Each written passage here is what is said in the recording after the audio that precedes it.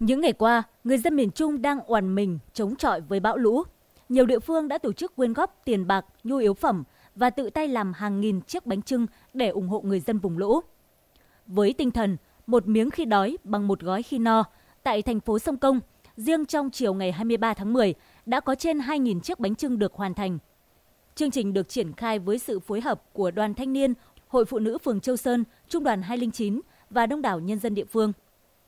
Ghi nhận của phóng viên, từ 13 giờ chiều, tại khuôn viên Trung đoàn 209 luôn tấp nập người đến tham gia gói bánh để ủng hộ người dân bị ảnh hưởng do lũ lụt. Trên 200 cán bộ chiến sĩ và hội viên phụ nữ, đoàn thanh niên đều chủ động phân chia công việc. Người ngâm gạo nếp, rửa lá, nhặt đỗ, gói bánh rồi nấu bánh xuyên đêm. Bánh sau khi nấu chín được vớt ra ép kỹ nước để giữ được lâu hơn. Ngay cả khâu vận chuyển vào miền Trung cũng được một số cá nhân chủ động tình nguyện về phương tiện, xăng xe và công vận chuyển. Sau khi mà được à, nghe tin à, đồng bào miền Trung bị à, bão ờ, bão lụt ý, thì chúng tôi cũng rất là chăn trở và suy nghĩ cũng muốn là chung tay với ờ, với đồng bào trong những cái lúc ừ, hoạn nạn này. Thì sau khi là tôi phối hợp với trung đoàn tiểu đoàn tiểu đoàn 8 trung đoàn 209 vận động trẻ em là chung tay ờ, gói bánh trưng để giúp cho đồng bào ờ, miền Trung thì chị em với tinh thần khi được ờ, nghe cái vận động đấy chị em rất là nhiệt tình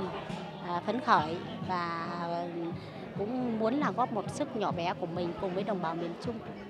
Gói tình cảm vào từng chiếc bánh trưng gửi đồng bào miền Trung là thông điệp mà các cán bộ chiến sĩ Trung đoàn 209 cùng hội viên phụ nữ dành cho đồng bào miền Trung tại các tỉnh Hà Tĩnh, Quảng Bình, Quảng Trị, Thừa Thiên Huế đang phải gồng mình giữa cơn đại hồng thủy.